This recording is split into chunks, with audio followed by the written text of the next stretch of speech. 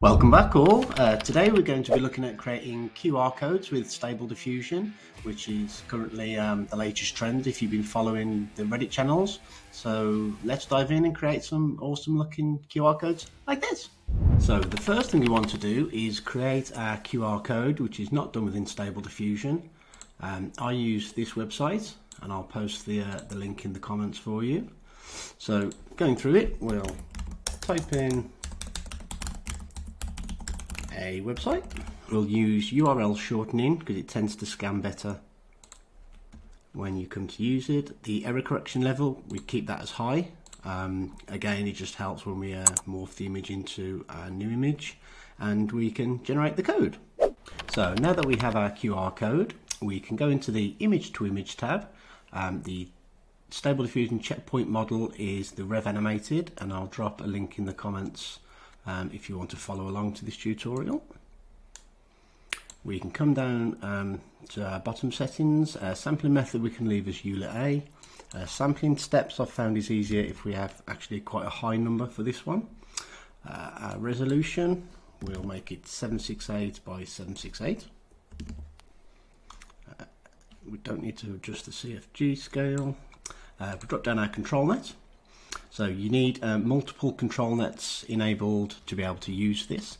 If you don't see multiple control nets, then under settings, uh, control net, we can see here uh, multi-control net max models amount. You will need to restart um, your instance of stable diffusion if you change this. So I've got mine set to three.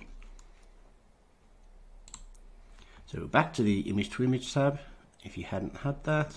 We can leave the denoising strength at 0.75. Uh, control net 0. Here we're going to put in the image that we want to blend into our uh, QR code. So I've got this image. You can create them from text to image um, or grab one offline or one you already have. We want to make sure we enable control net we're going to be using the OpenPose for this one and the OpenPose full preprocessor and the control stable diffusion 1.5 OpenPose model. Uh, the control weight can be left at 1, the starting control is 0 and the ending control step is 1. Uh, we want to resize and fill. We now want to go into the ControlNet Unit 1 tab. Again, we want to enable it to make sure that um, ControlNet kicks in and here we're going to upload our QR code that we generated earlier. Uh, for this one we're going to use the control type of tile, the preprocessor as tile resample and the model is the control um, Stable Diffusion 1.5 tile. Uh, the control weight for this one, we're going to set this to a slightly higher value. So we're going to set this as 1.2. So we want, to, we want Stable Diffusion to make sure that this one is a bit more prominent so that it definitely scans when we come to generate the, the final image. And the starting control step, we're going to start this at about 0.23. So that's 23% of the way through the image generation that this will kick in. So we're going to start with our picture of our futuristic robot lady and then we're going to blend it into the uh, QR code.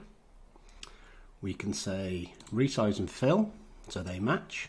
So the next thing we want to do uh, we'll put our placeholder image into here.